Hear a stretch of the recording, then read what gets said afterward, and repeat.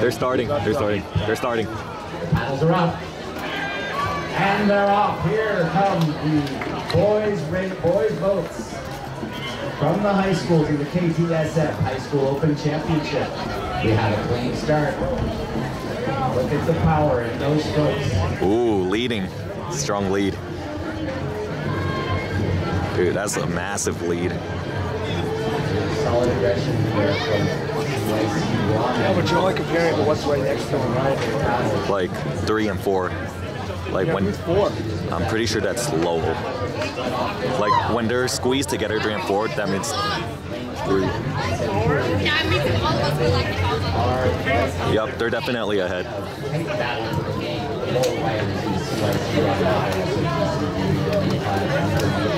Take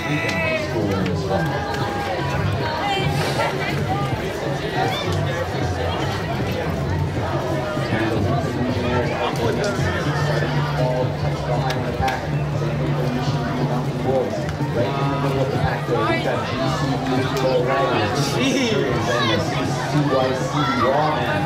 Right now coming up on the 350 meter mark. Before these guys go their finish, we got here? We've got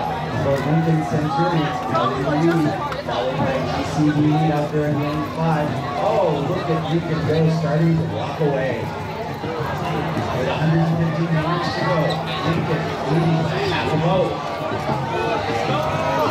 Bro, that's like a full boat actually. That's like a full boat.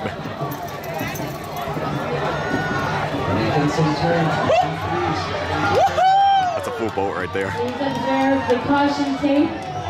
All viewers, please review the caution tape.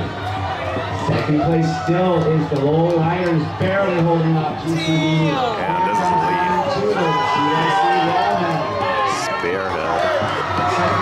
go to CYC in second place.